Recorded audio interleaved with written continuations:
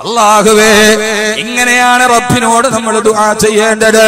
അള്ളാഹുവേ ജനിച്ച ഉടനെ എനിക്ക് കുടിക്കാൻ വെള്ളം തന്ന അല്ലാ അല്ലാഹുല്ലദീ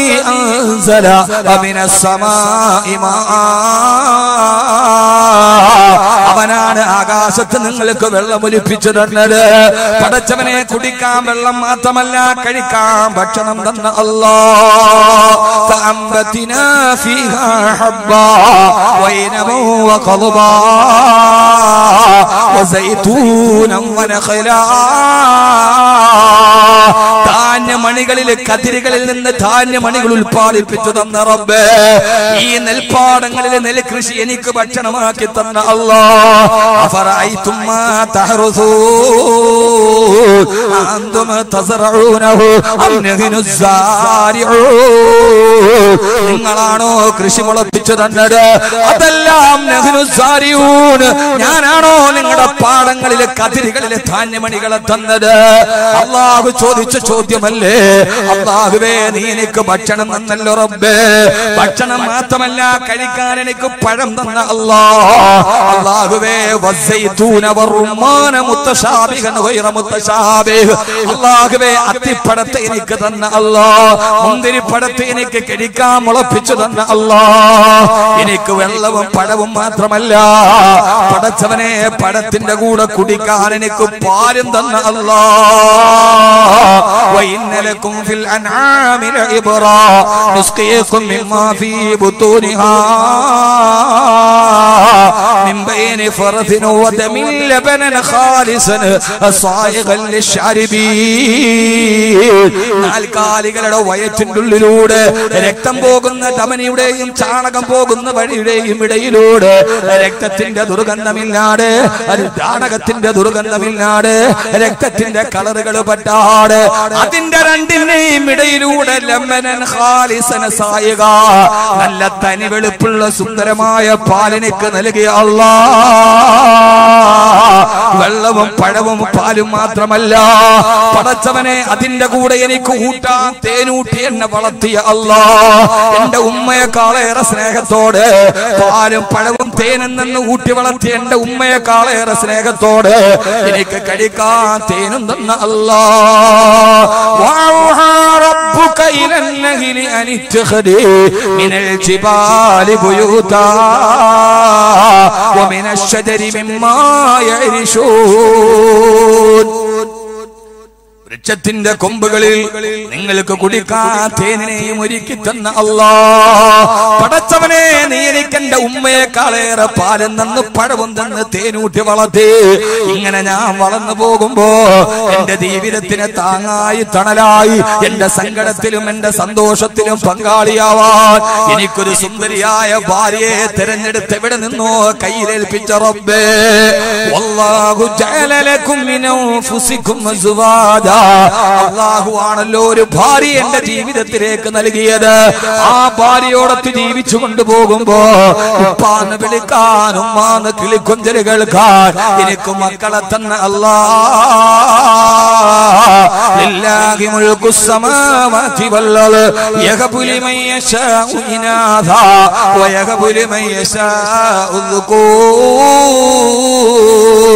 എനിക്ക് ആൺമക്കളെ തന്നെ റബ്ബേ എനിക്ക് പെൺമക്കളെ തന്ന റബ്ബേ. എനിക്ക് ആൺമക്കളെയും പെൺമക്കളെയും തന്ന റബ്ബേ. അള്ളാഹുവിനോട് ഇങ്ങനെ അവൻ ചെയ്തു തന്ന അനുഗ്രഹങ്ങളെ എടുത്തെടുത്തെടുത്തെടുത്ത് പറയണം ഉമ്മിനെ എന്റെ പ്രിയപ്പെട്ട സഹോദരിമാരോട് വെറുതെ എന്തെങ്കിലും വാരിക്കോരി പറയാണല്ല പാതിരാ സമയത്ത് നല്ല തണുപ്പുള്ള സമയത്ത് എഴുന്നേറ്റ് രണ്ടരക്കത്ത് നിസ്കരിച്ചിട്ട് പടച്ചറപ്പിന്റെ നേരെ കൈകൾ ഉയർത്തി നിർത്തിയിട്ട് അവൻ ചെയ്ത അനുഗ്രഹങ്ങൾ ഓരോന്നോരോന്നോരോന്നോരോന്ന് എടുത്തെടുത്ത് പറഞ്ഞിട്ട് അവസാനമല്ലാകുവേ എല്ലാം മൂട്ടി തന്നിട്ട് വിശുദ്ധ ഇസ്ലാം എന്ന ഏകദൈവ വിശ്വാസത്തിന്റെ സത്തയിലേക്ക് എന്നെ ആനയിച്ച അല്ലാഹു. യഹ്ദീ പടച്ചവനെ അള്ളാഹുവേ ഏകദൈവ വിശ്വാസത്തിലേക്ക് എനിക്ക് ഹിതായത്ത് തന്ന അല്ലാ പടച്ചവനെ ഇതൊക്കെ ഞാൻ ചോദിച്ചിട്ട് നീ എനിക്ക് തന്നതല്ലല്ലോ. പടച്ചവനെ നിന്നോടല്ലാടെ എന്റെ സങ്കടമിനി ആരോട് പറയാ? നീ അറിയാതെ എന്റെ കാലിലൊരു മുള്ളുകൊള്ളില്ല റബ്ബേ. നീ അറിയാതെ ഒരു വിപത്തിനിക്ക് വരില്ല അല്ലാ. നീ വരാത്തൊരു കടമന്റെ ജീവിതത്തിലില്ല അല്ലാ. നീ പറയാത്തൊരു പ്രതിസന്ധി എന്റെ ജീവിതത്തിലില്ല അല്ലാ. അതുകൊണ്ട് കക്കാറായ റബ്ബേ ജബ്ബാറായ റബ്ബേ ഗഫൂറായ റബ്ബേ കരീമായ റബ്ബേ സത്താറായ റബ്ബേ മൊയ്നായ റബ്ബേ നാസിറായ റബ്ബേ ഹക്കായ റബ്ബേ റബ്ബായ റബ്ബേ ലാ ഇലാഹ ഇല്ലാഹു. അന്തൽ അവ്വലു നീയാണ് ആദി. അന്തൽ ആഖിറു നീയാണ് അവസാനം. വ അന്തൽ ആഖിറു വ അന്തൽ ബാത്തിനു വ അന്ത കുല്ലി ഷൈഇൻ ഖദീർ. സചേതനമല്ലാത്ത കരിമ്പാറക്കെട്ടിൽ നിന്ന് പാൽ ചുരത്തുന്ന ഒട്ടകത്തെ സിട്ടിച്ച അല്ലാഹുവേ. അയ്യൂബ് നബിയുടെ മാരകമായ രോഗത്തിന് ഒരു പച്ചവെള്ളം കൊണ്ട് ശമനം കൊടുത്ത അല്ലാ എന്റെ രോഗം ഏത് ഡോക്ടർ തള്ളിയാലും നിന്റെ മുമ്പിൽ പ്രശ്നമല്ല റബ്ബേ. അതുകൊണ്ട് അള്ളാഹുവിനോട് അവൻ ചെയ്ത നന്മകൾ എടുത്തെടുത്തെടുത്തെടുത്ത് പറഞ്ഞ് പടച്ചറപ്പിനോട് പറയുക അല്ലാ ഇനി ഞാൻ നിന്നോട് ചോദിക്കുകയാണ്. എന്റെ കണ്ണീരിനൊരറുതി വരുത്തണയല്ലാ ഇങ്ങനെ അള്ളാഹുവിനോട് രാത്രിയിൽ എഴുന്നേറ്റ് നിന്ന് തഹജ്ജുദ് നിസ്കരിച്ചിട്ട് നീ പറ എന്റെ ജീവിതത്തിൽ ആത്മവിശ്വാസം ഉണ്ടാവും. അള്ളാഹു തൗഫീക്ക് നൽകട്ടെ. ഇങ്ങനെ ആരെങ്കിലും ജീവിതത്തിൽ ഇതേവരെ ദുആ ചെയ്തിട്ടുണ്ട് ഉള്ളവരൊന്ന് കൈ ഇങ്ങനെ ഞാൻ പറഞ്ഞൊക്കെ എടുത്ത് പറഞ്ഞിട്ട് അള്ളാഹുവിനോട് ഇങ്ങനെ ദുആ ചെയ്ത ആളുകൾ ഒന്ന് മെല്ലെ ഒന്ന് കൈവക്കും ആ മാഷാ. ഒന്ന് രണ്ട് മിൻ ശക്കൂർ. വളരെ കുറവാണ്. യഥാർത്ഥത്തിൽ ഉള്ള സമയത്തിൽ വെറുതെ വാരി വലിച്ച് പറയണില്ല. ഞാനൊരു വലിയ ഖുർആൻ പണ്ഡിതനൊന്നുമല്ല. പക്ഷേ എന്റെ ഒരു പതിനെട്ട് വർഷത്തെ ജീവിതം ഈ ഖുർആനാണ്. ഇനി അങ്ങനെ തന്നെയാണ്. അള്ളാഹു സ്വീകരിക്കട്ടെ. അള്ളാഹു സ്വീകരിക്കട്ടെ. അള്ളാഹു സ്വീകരിക്കട്ടെ. സഹോദരങ്ങളെ ഖുർആൻ രണ്ടാമത് മൂന്നാമത് അവതരിപ്പിച്ച അധ്യായമാണിത്. മൂടിപ്പുതച്ച് നിരാശയിൽ കിടന്നപ്പോ എഴുന്നേക്ക് നബിയെ എഴുന്നേറ്റ്. എന്നിട്ട് അള്ളാടെ മുമ്പിൽ രാത്രിയിൽ ചെറുപ്പക്കാര നീ പ്രായോഗികമായി ചെയ്തു നോക്ക്. അള്ളാടെ മുമ്പിൽ കൈ നീട്ടി വെച്ചിട്ട് പടച്ചോനെ നീ ഇതുവരെ തന്നത് എനിക്ക് കൃതാർത്ഥതയുണ്ടല്ലോ. അങ്ങനെയല്ലേ യഥാർത്ഥത്തിൽ ആ ചെയ്യേണ്ടത്? നമുക്കിപ്പോ ഒരാൾ ഒരാൾ സാലിയാജി അല്ലെ എം ടി പോയ. ചോദിക്കാതെ തന്നെ കുറെ തന്നു എത്തിങ്ങാനേക്ക് പൈസ. അങ്ങനെ ചോദിക്കാതെ തന്നെ ഇഷ്ടം പോലെ ഒരാൾ വാരി തന്നു എന്ന് വിചാരിക്കുക അവസാനം ഒരു പ്രയാസം വന്നപ്പോ ഓടിപ്പോയിട്ട് അങ്ങനെ മുമ്പിൽ പോയിട്ട് പിന്നെ പിന്നെ ഒരു പത്ത് ലക്ഷം പെട്ടെന്ന്. ഓടി ചെന്ന് വേറെ വർത്താനം അസ്സലാമലൈക്കും എന്താ വന്നത്? പള്ളി കമ്മിറ്റിക്കാരല്ല ഒരു പത്ത് ലക്ഷം രൂപ കടമുണ്ട് പെട്ടെന്ന് തരി. ആ മനുഷ്യൻ എന്താ പെട്ടെന്ന് പറയാ? അല്ല ഇത്രയും നാൾ ഞാൻ തന്നെ അല്ലേ തന്നെ. ഇനിയിപ്പോ നിങ്ങൾക്ക് വേറൊരാളോട് ചോദിച്ചൂടെ? ഇപ്പൊ എപ്പോഴും ഞാൻ തന്നെ തരാം. എന്നാൽ അതിന്റെ വേറൊരു വശമുണ്ടല്ലോ. ആ വശം ജാമിത ടീച്ചർ ജാമിത പറഞ്ഞ വശമല്ല. അള്ളാഹ്ക്ക് അങ്ങനെ ഒരു ആവശ്യവുമില്ല. അവിടെ ചെന്നിട്ട് അദ്ദേഹത്തിന്റെ വീട്ടിൽ കയറി ഒരു ചായ കിട്ടതൊന്ന് കുടിച്ച് നിങ്ങൾ ഇരിക്കി ഇരുത്തി എന്നിട്ട് പറഞ്ഞു ഹസനിയ എത്തീങ്ങ എത്തീങ്ങാനല്ലേ? എത്തീങ്ങാന ഇവിടെ വന്ന കാലം മുതൽ അതിനെ ഏറ്റവും കൂടുതൽ സഹായിക്കണം നിങ്ങളാണ്. അതിന്റെ ഓരോ ഘട്ടത്തിലും നിങ്ങളുടെ ഓരോ പ്രാതിനിധ്യമുണ്ട്. ആദ്യം അത് വെക്കണ സമയത്ത് ഫൗണ്ടേഷൻ ഇട്ടെന്ന് നിങ്ങളാണ് നിങ്ങളാണ്. അവസാനം അതിന്റെ കെട്ടിടം പൂർത്തിയാക്കാൻ പറ്റാതെ വന്നപ്പോ അന്ന് നിങ്ങൾ ഒരു ലക്ഷം രൂപ തന്നു പിന്നെ നമ്മൾ രണ്ടാമത്തെ കെട്ടിടം തുടങ്ങിയപ്പോ അന്ന് നിങ്ങൾ ഒരു ലക്ഷം തന്നു. ഏതൊക്കെ പ്രതിസന്ധി ഘട്ടമുണ്ടോ ആ സമയത്തൊക്കെ ഞങ്ങളുടെ ഒരു ആശയും പ്രതീക്ഷയും നിങ്ങളിലായിരുന്നു. അലഹമില്ല നിങ്ങൾ അതൊക്കെ ഞങ്ങൾ ചോദിക്കാതെ തന്നെ അറിഞ്ഞ് ചെയ്തിട്ടുണ്ട്. അലഹമില്ല നല്ല പ്രതിഫലം തരട്ടെ. ഇപ്പൊ വളരെ ഒരു പ്രതിസന്ധിയിലാണ് നമ്മുടെ സ്ഥാപനം ഉള്ളത്. അതുകൊണ്ട് നിങ്ങൾ എന്നും താങ്ങത്തണലുമായി ചോദിക്കാതെ ഞങ്ങളെ സഹായിച്ച നിങ്ങൾ ഇപ്രാവശ്യം കൂടി ഞങ്ങൾക്ക് ഇതിനകത്തൊന്ന് സഹകരിക്കണമെന്ന് പറഞ്ഞാൽ ആ മനുഷ്യൻ എന്താ പറയാ? എന്താ പറയാ? അദ്ദേഹം പറയാ അലഹമില്ല ഇത്രയും നാൾ ഞാൻ തല്ലേ നിങ്ങൾക്ക് ആ ശുക്രനോടുണ്ടല്ലോ ഞാൻ ചോദിക്കാതെ തന്നെ തന്നപ്പോ അതിന്റെ ഒരു നന്ദി നിങ്ങൾക്കുണ്ടല്ലോ. ഒരു പ്രതിസന്ധി വന്നപ്പോ നിങ്ങൾ ഓടി വന്നത് എന്റെ അടുക്കലാണല്ലോ. ഇൻഷാല്ല ഞാൻ ഉള്ളത് കൊണ്ട് സഹായിക്കും. അതല്ലേ പറയാ? ഇന്ന് വരെ യജമാനനായ അള്ളാഹുവിനോട് നമ്മൾ ദുആ ചെയ്തിട്ട് ഉസ്താദെ സ്വീകരിക്കണില്ല. നിങ്ങൾ ഈ പറയണൊക്കെ തഹജ്ജുദൊക്കെ ഞാൻ നിസ്കരിച്ചു നോക്കി. പക്ഷെ എന്റെ ദുആ സ്വീകരിക്കണില്ലെന്ന് പറഞ്ഞാൽ ദുആയുടെ ശൈലി എന്താ? അറബി പറഞ്ഞാലും അൽഹംദുലില്ലാഹി റബ്ബിൽ ആലമീൻ. സർവസ്തുതിയും അള്ളാഹുവേ അല്ലാഹുമ്മ സല്ലി അലാ സയ്യിദിന മുഹമ്മദിൻ വഅലാ ആലി സയ്യിദിന മുഹമ്മദ്. നിന്നെ ഞങ്ങൾക്ക് പരിചയപ്പെടുത്തി തന്ന നിന്റെ ശക്തിയെ കുറിച്ച് ഞങ്ങളോട് പറഞ്ഞു തന്ന നിന്റെ ഔദാര്യത്തെ ഞങ്ങൾക്ക് പരിചയപ്പെടുത്തി തന്ന നിന്റെ കരുണയെ കുറിച്ച് ഞങ്ങളോട് വാ തോരാതെ പറഞ്ഞു തന്ന നീയാണ് നിന്റെ അടിമകളോട് നിനക്ക് വലിയ കരുണയുള്ളവനാണെന്ന് ഞങ്ങളോട് ജീവിതം മുഴുവനും പറഞ്ഞു തന്ന ഞങ്ങളുടെ ഹബീബായ നബി മുഹമ്മദ് മുസ്തഫ സല്ലല്ലാഹു അലൈഹി വസല്ലമെ ഞങ്ങൾ ഉപകാരത്തോടെ ഓർക്കുകയാണ് സ്വലാത്ത് ചെല്ലുകയാണ്. അള്ളാഹുവേ അള്ളാഹു ഞങ്ങളുടെ ലോകത്തെ നീ ശിഫയാക്കി തരണേ അള്ളാഹുവേ ഇതാണ് ദുആയുടെ ശൈലി. അതുകൊണ്ട് എന്റെ സഹോദരങ്ങളോട് സഹോദരിമാരോട് എന്നോട് ആലിമ്യങ്ങളോട് എല്ലാവരോടും ഈ ഖുർആന്റെ ഒരു ശൈലി നിസ്കരിക്കീൻ കൈ പൊക്കീൻ എന്നിട്ട് പടച്ചറമ്പിനോട് വാരിക്കോരി തന്ന അനുഗ്രഹത്തെ കുറിച്ച് വാചാലമായിട്ട് പറയും. പടച്ചോനെ ഇത്രയൊക്കെ തന്നിട്ടും ഒരു നന്ദി ഞാൻ ഇതുവരെ ചെയ്തിട്ടില്ല അള്ളാഹുവേ എന്നിട്ട് നീ തന്ന അനുഗ്രഹം എന്നിൽ നിന്ന് നീ പിടിച്ചുകൊണ്ട് പോയിട്ടില്ല അള്ളാഹുവേ എന്നോട് എനിക്ക് ശുക്രണ്ടല്ലോ പടച്ചോനെ വലിയൊരു പ്രതിസന്ധിയിലാണ് ഞാൻ. നടക്കൂലേ? നടക്കൂലേ? എന്താ ഒരു വിശ്വാസമില്ല നടക്കും. പക്ഷെ നമ്മുടെ ഹൃദയത്തിൽ അത് പതിയാത്തത് കൊണ്ടാണ്. അള്ളാഹു നമുക്ക് തൗഫീക്ക് നൽകി അനുഗ്രഹിക്കുമാറാകട്ടെ. അതുകൊണ്ട് ചെറുപ്പക്കാരെ ചെറുപ്പക്കാരികളെ യുവാക്കളെ നമ്മുടെ ജീവിതത്തിന്റെ ഏറ്റവും വലിയ ഒരു മുഖമുദ്രയായി. ചിലപ്പോ രണ്ടു മണിക്കൂർ വെള്ളം തരും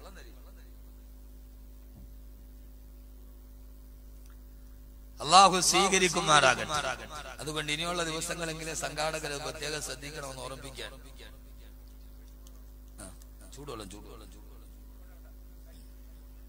അപ്പൊ ഇനിയുള്ള ദിവസങ്ങളെങ്കിലും നേരത്തെ ആക്കാൻ വേണ്ടി ശ്രമിക്കണം. മരുമോളോടോ കാട്ടി ഇനിയിപ്പോ നാത്തൂനോടും കൂടെ കാണിക്കണം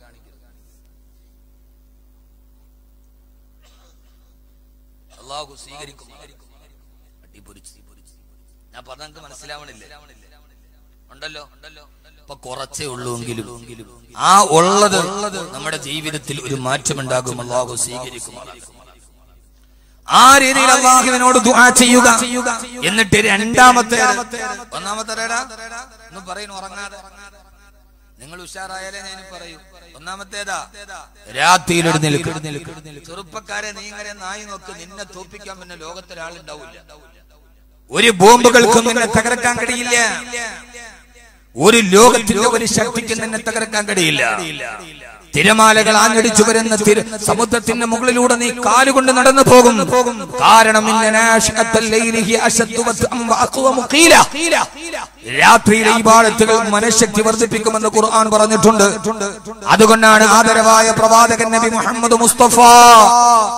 ഉറക്കെ പറ. ആദരവായ പ്രവാചകൻ നബി മുഹമ്മദ് മുസ്തഫ. ആദരവായ പ്രവാചകൻ നബി മുഹമ്മദ് മുസ്തഫ. സല്ലല്ലാഹു അലൈഹി വസല്ലമ പറഞ്ഞു കൊടുത്ത അള്ളാന്റെ പ്രവാചകനോ രണ്ടാമത് പറഞ്ഞത് പ്രയാസങ്ങളും പ്രതിസന്ധികളും ഉണ്ടെങ്കിൽ പാതിരാ സമയത്ത് പടച്ചിറപ്പിനോട് ദുആ ചെയ്യുക. എന്നിട്ട് രണ്ടാമത് ചെയ്യേണ്ട കാര്യം എന്തെന്നറിയോ? ഔസിദ് അലൈഹി വറത്തിൽ ഖുർആന തർതീലാ ഔസിദ് അലൈഹി വറത്തിൽ ഖുർആന തർതീലാ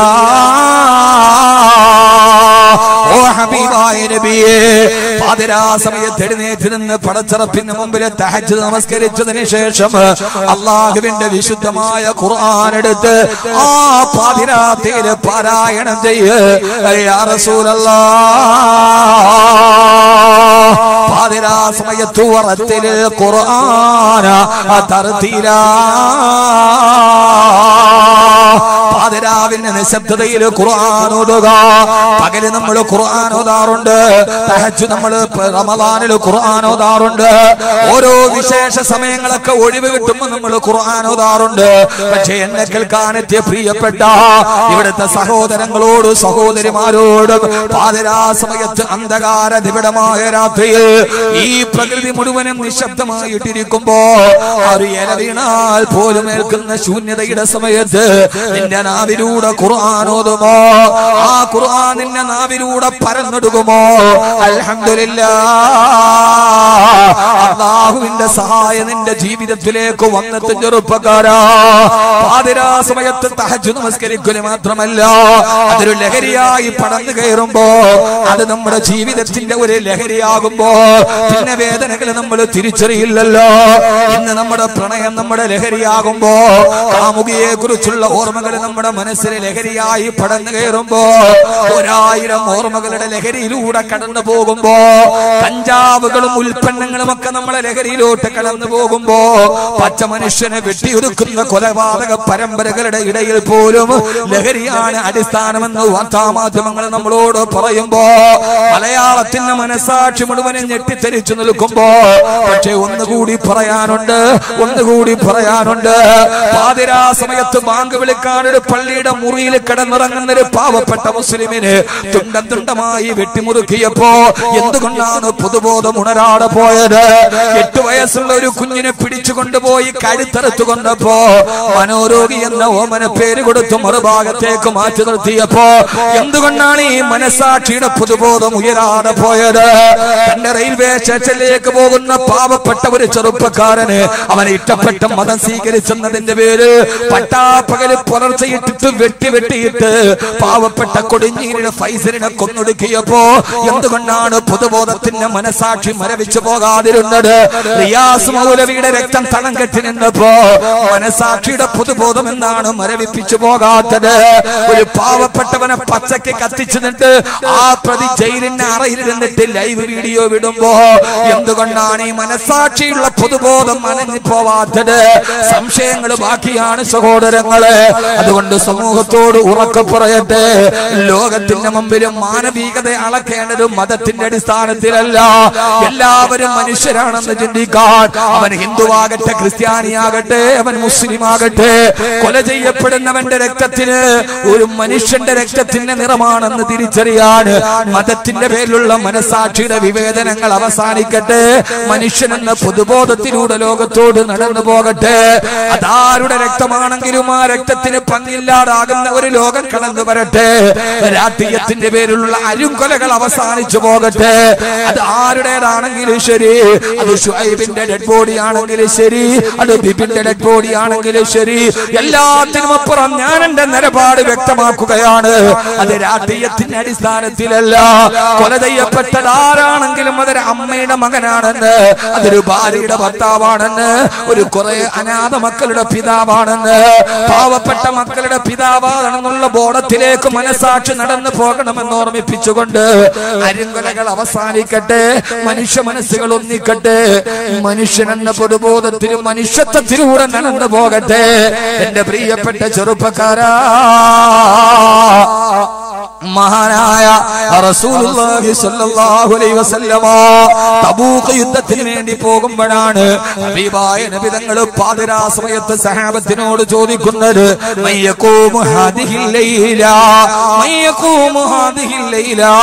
ആരാണ് ഇന്നത്തെ രാത്രി ഞങ്ങൾക്ക് കാവൽ നൽകുക?